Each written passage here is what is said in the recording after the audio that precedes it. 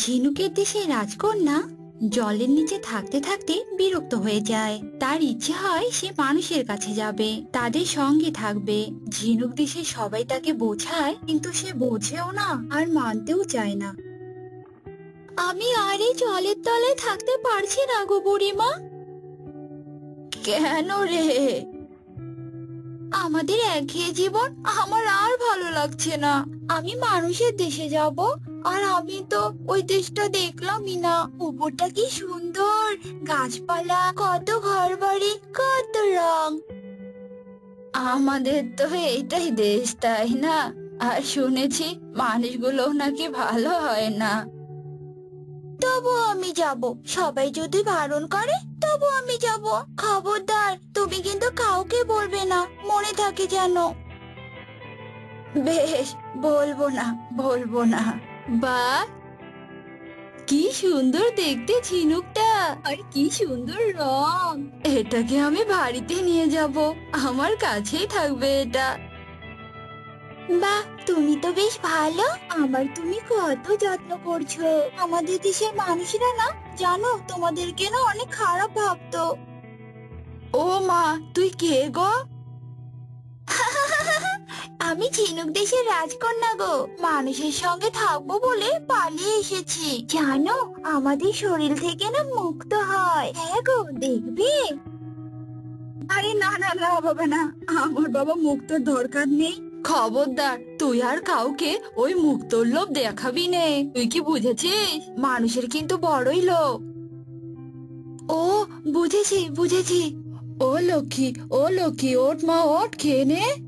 ও লক্ষ্মী ওট হায় হায় হায় রে, হায় হায়, এ কি সর্বনাশ হলো আমার। হায় হায় হায় আমার একটাই গরু তার দুধ বেচে এই খবর কুড়িয়ে, খুঁটে বানিয়ে, তাই বেচে আমার দিন চলতো। এখন কি হবে? হায় হায় রে, হায় হায়। কি হয়েছে গো মাসি? হায় রে, তোকে আর কি বলব? আমার লক্ষ্মী গরুটা যে মরে গেছে রে। এখন আমার চলবে কি করে? ও মাসি, তুমি অত কেঁদো না গো। দাঁড়াও, আমি তোমাকে একটা মুক্ত দিচ্ছি। তুমি সেটা বিক্রি করে যা টাকা পাবে, তাই দিয়ে তুমি গরু কিনে এনো। এই যে, এ নাও। শোন তোর মুক্ত দেওয়াতে তো আমি গরুটা কিনেইছি। কিন্তু এদিকে যে আমাকে চাল ছাড়তে হবে দেয়াল পাকা করতে হবে। বলছিলাম কি তুই যদি আমাকে একটু মুক্ত দিতিস তাহলে আমার একটু উপকার হতো। হ্যাঁ নিশ্চয় মাসি কেন দেব না? এই নাও। ওই দেখ বলছিলাম কি একটা মুক্ততে আর কি হবে বল? দুটো তিনটে মুক্ত দিলে খুব ভালো হয় রে। ও আচ্ছা আচ্ছা দাঁড়া দাঁড়াও। এই যে নাও। আহা, বেশি দে দে। ও মাসি মাসি, আমাকে জল দাও। জল যে শুকিয়ে গেছে। আমার যে খুব পিপাসা পেয়েছে গো মাসি। দেব দেব, তার আগে আমাকে মুক্ত দে তুমি যে বলে কি মজা। আমার এখন গা ভর্তি গয়না হবে। আবারও এসেছ তুমি? কি ব্যাপার? আবারও কি মুক্ত বিক্রি করতে? হ্যাঁ দুটো মুক্ত। কি ব্যাপার বলো তো? এত মুক্ত তুমি পাচ্ছ কোথায়? ও আমার ঘরে ছিল। এই আমাকে মিথ্যে কথা বলছো? ঘরে ছিল? নিশ্চয়ই কারও কাছ থেকে চুরি করেছ? তাহলে চলো তোমাকে জমিদারের কাছে নিয়ে যাব এক্ষুনি নিয়ে যাব। এ না না না না শোনো শোনো আমি তোমাকে সবটাই বলছি। তুমি আমার বাড়ি চলো গেলেই দেখতে পাবে। বেশ চলো। এই মুক্ত দে, না হলে কিন্তু আমি তোকে রাস্তায় ফেলে দিয়ে আসব। সেখানে জল না পেয়ে একেবারে অক্কা যাবি। বাহ বাবা বাবা এটা তো বেশ চমৎকার। আমি শ্যাকরা যদি এই ঝিনুক আমাকে না দাও, তাহলে কিন্তু আমি জমিদার মশাকে গিয়ে সবটাই জানাব হ্যাঁ। ঝিনুক লুকিয়ে রেখে তার মুক্ত বিক্রি করে, এতদিন তুমি যে অন্যায় করেছ, তার সাজা তোমাকে পেতেই হবে বলে দিলাম। ও মশাই, তুমি এটা নিয়ে যাও, আমাকে ছেড়ে দাও, আমি যে কিছুই করিনি গো। আহা আচ্ছা বেশ বেশ, তুমি যখন বলছো তাহলে তাই হবে, আমি বলব না, তাহলে এটা আমি নিয়ে গেলাম। গতদিন তুমি যে মুক্তোর আংটিটা দিয়েছ, সেটা দেখে পণ্ডিত বলল একেবারে খাঁটি মুক্ত। আমার গিন্নির ওই মুক্তোর চুড়িটা বেশ ভালো হয়েছে হ্যাঁ। আপনি তো জানেন, আমি দু নম্বরই ব্যবসা করি না। আমার মুক্ত মানে একেবারে খাঁটি মুক্ত। এখন আবার আমার মেয়ে বায়না ধরেছে, তাকেও একটা মুক্তোর মালা বানিয়ে দিতে হবে, বুঝলে? আগে নিশ্চয় নিশ্চয়, কিন্তু অগ্রিম যদি কিছু দেন? ও মানে খাঁটি মুক্ত কিনতে তো একটু ও আচ্ছা আচ্ছা এই নাও এই নাও। প্রণাম প্রণাম জমিদার মশাই। আহা এভাবেই তো বিনে পয়সায় মুক্ত বিক্রি করে আমি একদিন অনেক ধনী হয়ে যাব। এই যে আজ আমি মুক্তর একটা হার বানাবো জমিদারের মেয়ের জন্য। অনেক মুক্ত লাগবে দে দেখি মুক্ত দে। ইস কি লোভী মানুষ। ছি ছি আমাকে এখান থেকে মুক্তি পেতেই হবে। কিন্তু কীভাবে? এরা তো আমাকে ছাড়বেই না। কি হলো দে? কানে কথা গেল না তোর? না না না না ওসব কান্নাকাটি এখানে চলবে না বুঝেছিস? আমার ভেতরে সমুদ্রের জমা জল সবটাই শুকিয়ে গেছে। সমুদ্রের জল না পেলে তো আমি আর মুক্তই দিতে পারব না। তাহলে? উপায় একটা আছে তুমি আমাকে সমুদ্রের ধারে নিয়ে চলো। আচ্ছা বেশ তাই চল। এ বল এবার কি করব? এবারে আমাকে ওই সমুদ্রের জলে ডোবাও। আরে আরে আরে আরে এ এ কোথায় গেল? আরে যা যা এটা তো ডুবে গেল। হায় হায় হায় রে হায় হায় গেল রে গেল গেল গেল রে। আমার সব মুক্ত গেল। কি রে মেয়ে উপরে কি দেখলি? উফ তুমি ঠিক কথাই বলেছিলে বুড়িমা। মানুষের মধ্যে না খুব লোভ, কোনো মায়া, মমতা কিচ্ছু নেই গো। আমাকে তো ওরা প্রায় মেরে ফেলছিল। আমি তো তোকে আগেই বলেছিলাম, কিন্তু তুই শুনিসনি। যা গিয়ে তুই তো ফিরে এসেছিস।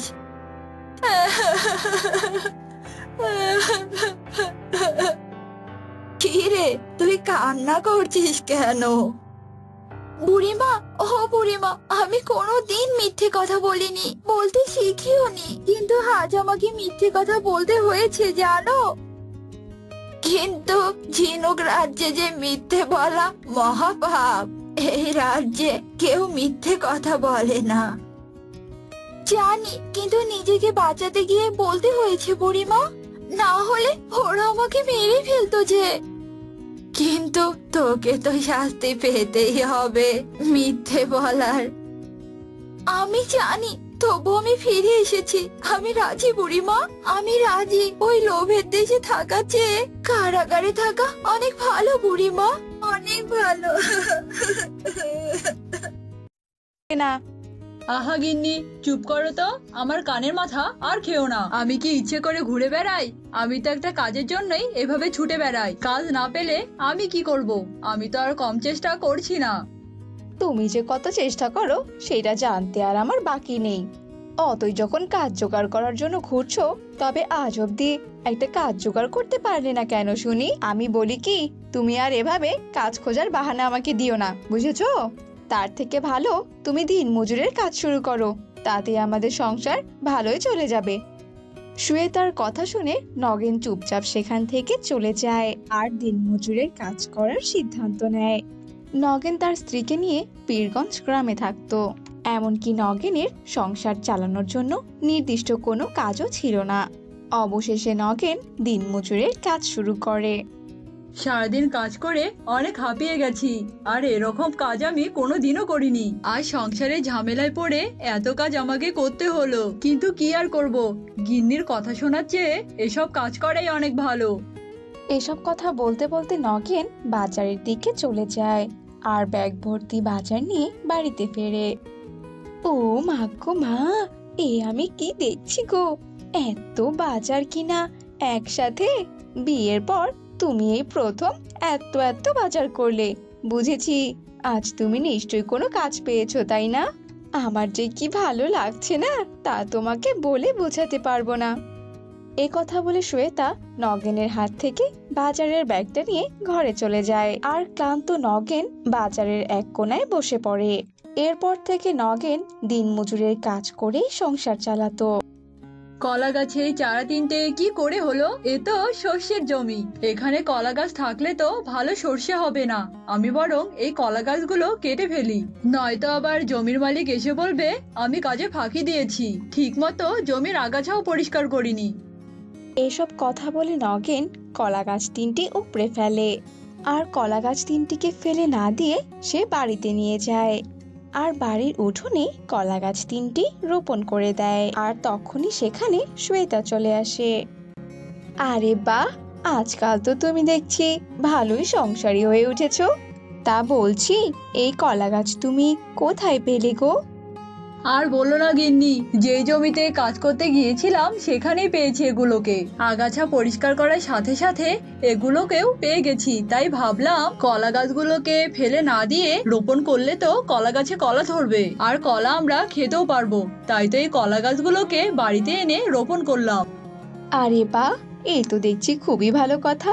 সংসারী হওয়ার সাথে সাথে দেখছি তোমার মাথার, তোমার বুদ্ধির দুয়ারও খুলেছে। যাই হোক বাবা, এবার যদি আমার সংসারে একটু সুখ আসে। এসব বলে শ্বেতা সেখান থেকে চলে যায় আর এক বালতি জল এনে কলা গাছের গোড়ায় দেয়। এভাবেই নগিন আর শ্বেতা মিলেমিশে সংসার সাজাতে শুরু করে। এভাবেই কেটে যায় বেশ কিছুদিন আর শ্বেতার যত্ন ও পরিচর্যায় কলা গাছ তিনটি অনেক বড় হয়ে যায়। কিন্তু অবাক করা ব্যাপার হলো কলা গাছে কলার বদলে তিনটে হাড়ি ধরে। হায় হায় হায় হায় রে, আমার এত কষ্ট কি তাহলে বৃথা হয়ে গেল? কলা গাছে কিনা কলার পরিবর্তে হাড়ি ধরলো? এ কেমন অবাক করা কাণ্ড রে বাবা। এই এই শোনো, তুমি এ কেমন কলা গাছ এনেছো হ্যাঁ? কলা গাছে কলার পরিবর্তে কিনা হাড়ি ধরলো? কিন্তু এই হাড়ির ভেতর কি আছে? একটু ভেঙে দেখি তো। না গিন্নি, না। তুমি ভুলেও এই কাজ করো না। আমার কেন জানি ব্যাপারটা ভালো ঠেকছে না। এ হাড়ি থেকে যদি ভূত পেট বের হয়? এসব কথা বলে শ্বেতা রাগে গজগজ করতে করতে একটা লাঠি নিয়ে আসে। আর প্রথম কলা গাছের হাড়িটা ভেঙে ফেলে। আর অমনি সেখান থেকে একটা সোনার কলার মোচা বেরিয়ে আসে। ও মা গো মা, এসব আমি কি দেখছি গো? এই তো দেখছি একটা সোনার কলার মোচা। আমার পরিশ্রম জলে যায়নি গো। বরং এই পরিশ্রমের ফলে আমার ভাগ্য খুলে গেছে। এবার আমরা অনেক ধনী হব বলো। চুপ করো গিন্নি এসব তো পরে ভাবা যাবে। এখন দেখো সাধারণ কলা গাছে সোনার মোচা কি করে এলো? নগেনের কথা শেষ হতে না হতে কলা গাছের মোচাটি কথা বলে ওঠে। এত অবাক হলো না গো। তোমরা ভাগ্যবান, তাই তো তোমরা আমাদেরকে পেয়েছ।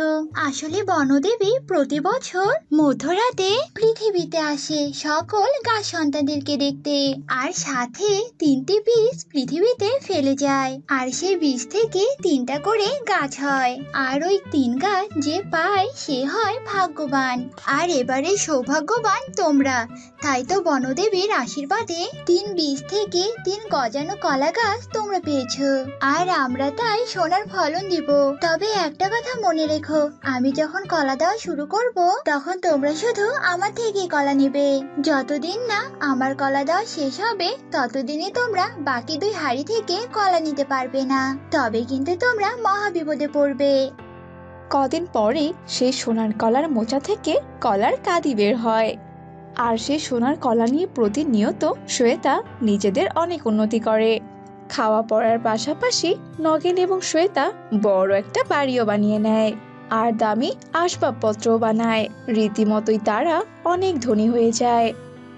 দেখলে গিনি ঈশ্বর কার কপালে কি রাখে তা বোঝা খুবই মুশকিল। এই তো, কয়েক মাস আগেই আমাদের কি অবস্থা হয়েছিল? আমরা ঠিক মতো খাবার জোটাতেও পারছিলাম না। আর অথচ এই কয়েক মাসে আমাদের ভাগ্য কতটা বদলে গেছে। আমরা অনেক ধনী হয়ে গেছি, আমাদের কোনো অশান্তি নেই। সবই তো ঠিক আছে, কিন্তু অশান্তি আছে কি না, সেটা কি তুমি জানো? আমরা তো ধনী হয়েছি, কিন্তু আমার শরীর ভর্তি কোনো গয়না নেই। আমি গয়না চাই অনেক গয়না চাই। আহা গিন্নি আমি তোমার মনের লোকটা কিছুতেই কমাতে পারলাম না। আমি তো তোমাকে গহনা কিনে দিয়েছি। আর কত যাও আমি না হয় আজকে তোমার জন্য একটা গহনা কিনে আনব। এসব কথা বলে নগেন বাইরে চলে যায়। কিন্তু শ্বেতা কিছুতেই স্বস্তি পাচ্ছিল না। আর তাই শ্বেতা অস্থির হয়ে কলা গাছের কাছে চলে যায়। না না এভাবে রোজ রোজ একটা কলা গাছের থেকে একটা করে কলা নিয়ে আমার আর পোষাচ্ছে না। আজ আমি বাকি দুটো হাড়িও ভাঙবো। আর তাতে যে সোনার কলা ধরবে, তা বিক্রি করে করে আমি নিজের জন্য সোনার গহনা কিনবো। আর এক এক দিন এক একটা গয়না পরে রানীর মতো ঘুরে বেড়াবো। এসব কথা বলে শ্বেতা একটা লাঠি নিয়ে অবশিষ্ট কলা গাছের হাড়ি দুটো ভেঙে ফেলে। অমনি চারদিক ধোঁয়ায় ভরে যায়। আর সেই ধোঁয়া থেকে একটা রাক্ষসী প্রকট হয় আর শ্বেতাকে খেয়ে ফেলে। এরপর সে রাক্ষস এবং শ্বেতা দুজনেই অদৃশ্য হয়ে যায়। আর তখনই নগেন গয়না কিনে বাড়িতে ফিরে আসে। আর কলা গাছের কলার কাঁদি নগেনকে সবটা খুলে বলে, ঠিকই হয়েছে, গিন্নিকে কতবার করে বললাম, লোভ করো না, লোভ করো না। কিন্তু সে কি আর আমার কথা শোনে? তবে ওই উচিত শিক্ষা পেয়েছে, এমন লোভই মরে যাওয়াই ভালো। এরপর নগেন তার ঘরে চলে যায় আর এভাবেই শ্বেতা তার লোভের শাস্তি পায়। পরিমাতা তার তিন কন্যাকে নিয়ে চাঁদের দেশে যাওয়ার জন্য রওনা দেয়। পরিমাতা পরিরাজ্যের কর্ত্রী ছিলেন। পরিমাতা হঠাৎ চাঁদের দেশে? তা বাচ্চা কি মনে করে তুই আমার দ্বারস্থ হয়েছিস? আর এরা তিনজনকে? বুড়িমা, এরা আমার তিন কন্যা। আজ ওদের পাঁচ বছর পূর্ণ হয়েছে। আমি তাই ওদেরকে আপনার কাছে নিয়ে এসেছি, আপনার আশীর্বাদ নেওয়ার জন্য। আপনি ওদেরকে আশীর্বাদ করুন মাতা, যাতে ওরা বিপদ মুক্ত থাকতে পারে। আমার কন্যারা যেন তাদের শক্তি বলে সকলের উপকার করতে পারে। আচ্ছা তোর সন্তানদের ওপর আমার আশীর্বাদ রইল। ওরা পরোপকারী হবে। এরপর চাঁদের বুড়ি জাদু করে তিনটি বেলপাতা নিয়ে আসে আর সেটা পরিমাতাকে দেয়।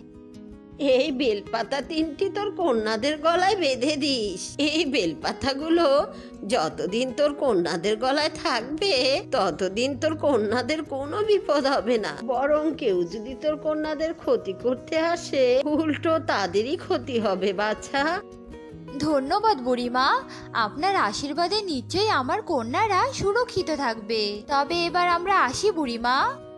এরপর তিন কন্যা ও পরিমাতা হাত জোর করে চাঁদের বুড়িকে প্রণাম করে আর পরিরাজ্যে ফিরে আসে। আর পরিমাতা তার তিন কন্যাকে পরিরাজ্যে ফিরে যাওয়ার পরই বেলপাতা তিনটি তার পরিকন্যাদের গলায় পরিয়ে দেয়। কন্যারা, তোরা এখন থেকে সুরক্ষিত। আর আমি চাই তোরা পরিরাজ্য ছেড়ে পৃথিবীতে যা। কারণ পৃথিবীর মানুষরা যে প্রতিনিয়ত অনেক সমস্যার সম্মুখীন হচ্ছে। তোরাও বরং তাদের রক্ষা কর। আর পরিরাজ্যে তো আমি রইলাম। আমি না হয় পরিরাজ্য সামলাবো? কেউ হুকুম মাতা, আপনি যা বলবেন, আমরা তো তাই করব। তবে মাতা, আমাদেরকে আশীর্বাদ করুন। আমরা এবার পৃথিবীর উদ্দেশ্যে রওনা দিব। আর পৃথিবীর উদ্দেশ্যে তিন কন্যা রওনা দেয়। চাঁদের বুড়ি, রক্ষা করো রক্ষা করো আমার মেয়েকে। তিন দিন ধরে যে আমার মেয়ে ভীষণ অসুস্থ, আমার মেয়ে যে চোখ মেলছে না। বুড়িমা, রক্ষা করো রক্ষা করো আমার মেয়েকে। তুমি ছাড়া যে আমাদের আর রক্ষা করার কেউ নেই। বিনোদ যখন চাঁদের বুড়ির কাছে এসব প্রার্থনা করছিল, ঠিক তখনই তিন পরিকন্যা সেখানে পৌঁছায়। কেঁদো না, শান্ত হও, তোমায় আর কাঁদতে হবে না। আমরা তোমার কন্যাকে সুস্থ করে দিচ্ছি। আমরা তিন কন্যা যে তোমার বিপদে পাশে দাঁড়াতে এসেছি। আর তখনই বিনোদের মেয়ে একদম সুস্থ হয়ে যায়। এই তো এই তো, আমার মেয়ে চোখ মেলেছে। তবে নিশ্চয় আমার মেয়ে সুস্থ অনুভব করছে। তোমাদের অনেক ধন্যবাদ তিন পরিকন্যা। তবে আর আমাদের এবার আর আমাদের চাঁদের বুড়িমার সাহায্যের জন্য অপেক্ষা করতে হবে না। তিন পরিকন্যা চাঁদের বুড়িমার মতো আমাদের সাহায্য করবে। বিনোদের মুখে স্বস্তির হাসি দেখে তিন পরিকন্যা সেখান থেকে চলে যায়। আর তিন পরিকন্যা এভাবেই পৃথিবীতে উড়ে উড়ে তার ফসলই নেই। এত প্রার্থনা করলাম চাঁদের বুড়িমার কাছে। কিন্তু বুড়িমা তো আমার ফসলগুলো রক্ষা করলোই না। তাদের বুড়িমা আজকাল আমাদের জন্য প্রার্থনা শুনছেই না। ঠিক তখন সেখানে তিন পরিকন্যা আসে। কি হয়েছে গো তোমার? তুমি এভাবে কাঁদছো কেন? আর তোমার জমিতে ফসলই বা নেই কেন? এরপর দিলীপ তার ফসল নষ্ট হওয়ার ব্যাপারে পরিদেরকে সব কথা খুলে বলে। আর এসব কথা শুনে তিন পরিকন্যা তার জাদু বলে দিলীপের জমিতে ফসল ফলিয়ে দেয়। আর দিলীপ তার জমিতে ফসল দেখে ভীষণ খুশি ছিল। তোমাদেরকে অনেক ধন্যবাদ। তোমরা আমাকে বাঁচালে নয়তো আমি আমার স্ত্রী সন্তানকে নিয়ে খুব বিপদে পড়তাম। আজকাল তো আর পৃথিবীর মানুষদের হাহাকার শোনা যাচ্ছে না। তবে কি মানুষদের সব বিপদ আপদ দূর হয়ে গেছে? না সে কি করে সম্ভব? এবার তাহলে একটু পৃথিবীর দিকে নজর রাখতে হচ্ছে। এরপর চাঁদের বুড়ি পৃথিবীর দিকে নজর রাখতে শুরু করে।